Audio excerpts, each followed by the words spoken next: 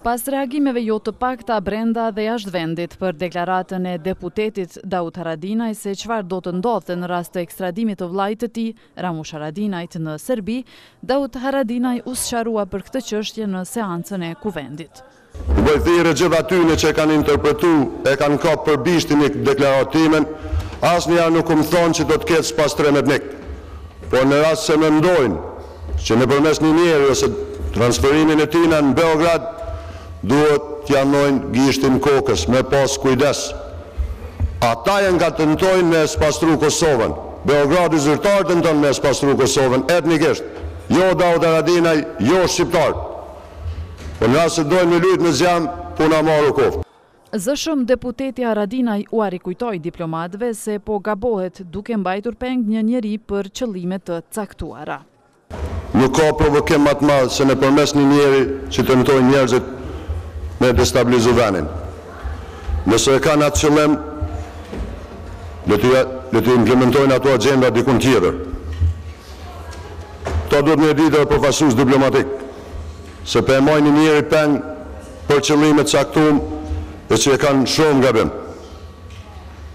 Kurrkush ma shumë se sa unë vet nuk e don paqen e stabilitetin e Kosovës. Ata të cilët po tentojnë e që janë sot udhëheqësit në Beograd duhet me ditë mirë se nuk lshojmë pe mo. Përgjigjen e njëjtë sa herë donë kanë me e marrë, qysh e kanë marrë nëntëdhjetë e tetë, nëntëdhjetë e nëntën. Ndaj kësaj deklarate të Haradinajt reaguan deputetët e Listës Serbe. Është koha e fundit që deklarata të tilla të dënohen dhe jo vetëm kaq. Në emër të Listës Serbe dhe popullit serb, dua të them se serbët që kanë mbetur në Kosovë nuk janë fajtorë dhe përgjegjës për udhëheqjen e çfarëdo procesi ligjor dhe nuk mundet që në mënyrë kaq të pafytyrë të bëhen kërcënime dhe deklarata dhe që populli serb të vendoset në pozitë të frikës në pritje të përfundimit të procesit ligjor. A do të thotë kjo që serbët në Kosovë të kenë frikë nga çfarëdo procesi ligjor? Po në pikën e deklarimeve jashtë rendit të ditës, deputeti i Vetëvendosjes Rexhep Selimi akuzoi presidentin Thaçi se me aventurat e tij ka vënë në rrezik të ardhmen e ushtrisë së Kosovës. Por edhe atëherë, edhe tash, një njeri dhe pushteti i tij, bashkë me koalicionin PDK-LDK-Lista Serbe, e rrezikuan sigurinë e vendit duke manipuluar me këtë temë. Ai njeri me avanturat e tij egoiste sot ka vënë në rrezik edhe të tashmen edhe të ardhmen e Ushtrisë së Kosovës, ka vënë në rrezik partneritetin me aleatët strategjikë siç është NATO-ja, SHBA-ja dhe Bashkimi Evropian. Debat u zhvillua edhe për çështjen e demarkacionit me Malin e Zi.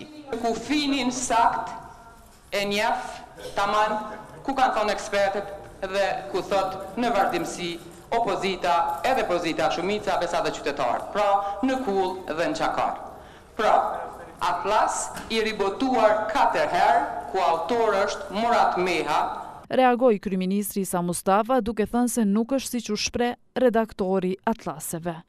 Nuk merrem me to, do të thotë ata që kanë i kanë hartuar ato ato publikime, ata qëndrojnë edhe e kanë përgjegjësinë e autorësisë për to, ashtu siç e kanë përgjegjësinë e autorësisë edhe për raportin për shënimin e vijës kufitare. Dashta me pyet edhe kryeministrin a është i smutë psikik Murat Meha? Sa i përket deklaratës për të smurë psikik, ai kjo është deklaratë e jotja, nuk është e imja. Kryeministri Mustafa iu përgjigj deputetëve edhe për pagat e tyre.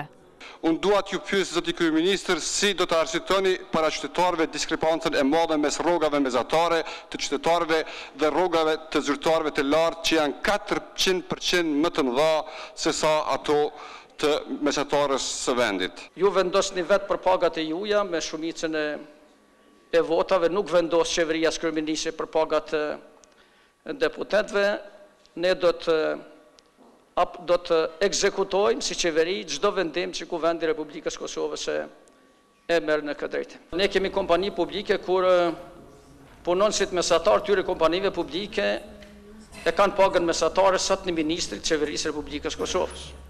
E kanë mbi një mijë euro, sa ka ministri ose të tjerët e kanë pesë herë rrogën më të madhe se sa që e ka unë si kryeministër i i vendit si drejtor ekzekutiv të atyre kompanive sepse unë e kam pagën diku një mijë e katërqind e pesëdhjetë euro ata e kapërcejnë pagën gjashtë mijë dhe shtatë mijë.